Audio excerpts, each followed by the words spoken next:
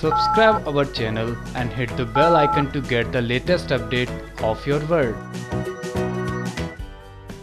Bigg Boss season 12 में होने वाला है बहुत उल्टा पुल्टा और इस उल्टे पुल्टे की वजह से नॉमिनेशन भी बदल जाएँगे और एविक्शन की प्रक्रिया भी।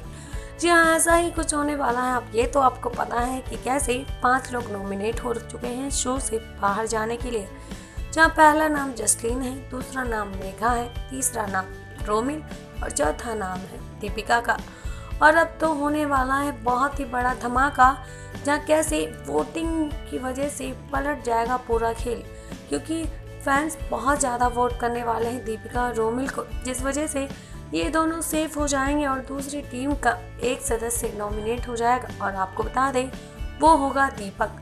जी हाँ सही कुछ लीडिंग वेबसाइट का कहना है कि खेल पलट जाएगा रोमिल और दीपक दोनों बच जाएँगे वोटिंग की वजह से।